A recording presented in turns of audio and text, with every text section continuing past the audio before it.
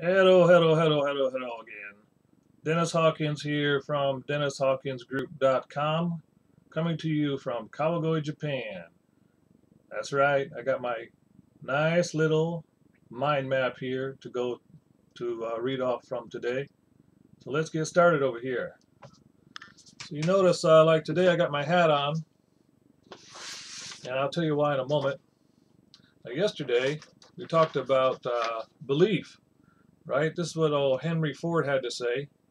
Whether you think you can or you can't, you're right. And I believe old Henry is right about that one too. So yesterday was about belief. Today is about consistency. Now, I got my hat on so that I can take my hat off to the following people. Following people I'm taking my hat off today to. Number one is uh, Zach Crawford. Zach Crawford is a fantastic mentor. If you can uh, be mentored by him, you'll be one of the luckiest people I know. Another person uh, that I want to uh, edify today is Vincent Ortega Jr. Fantastic motivator. Absolutely a guy to pay attention to. Next is the lady of the group, Anji Long. She is the internet lifestyle leader. Okay? Fantastic person to follow. Now, why am I edifying these three people?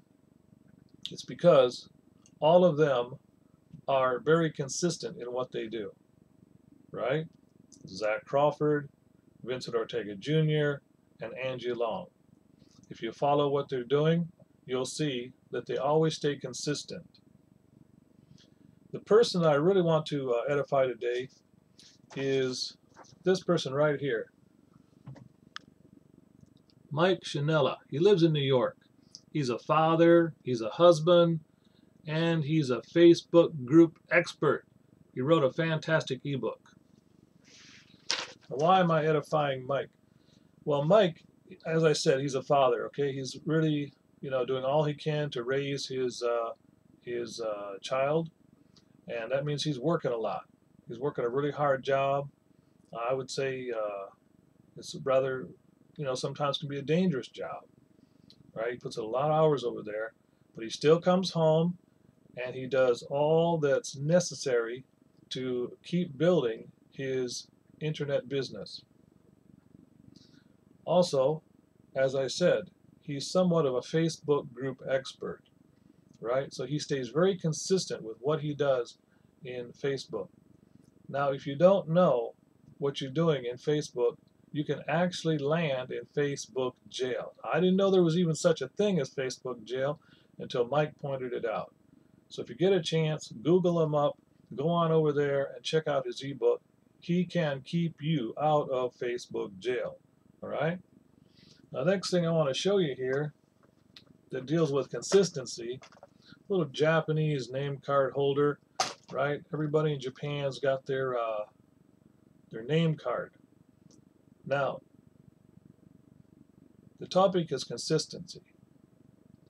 If I were to hand a different name card to someone every six months, right, they would start to doubt that I am a consistent person, right? Especially in Japan. We have a saying in Japan that's called Ishinoe Sannen. Ishinoe Sannen means you stick with what you're doing for at least three years, right, before you change to something else. So in this industry, the internet marketing industry, many entrepreneurs are jumping from one opportunity to the next opportunity to the next opportunity they lack consistency.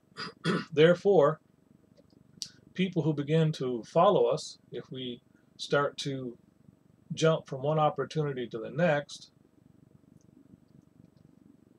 we're not considered consistent. No one can actually believe what we're telling them, right? So that's my message for today is uh, develop consistency, stay consistent.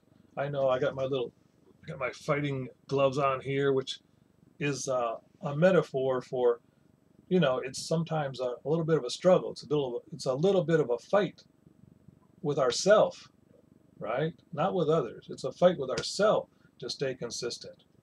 Now tomorrow, I'll be uh, doing a topic that begins with D. I haven't really decided what that topic is yet, right? But I'll uh, just follow my inspiration like I have been doing for the last uh, couple of uh, videos here and continue on with this internet marketing struggle along with the rest of you. So until then, see you later. Bye.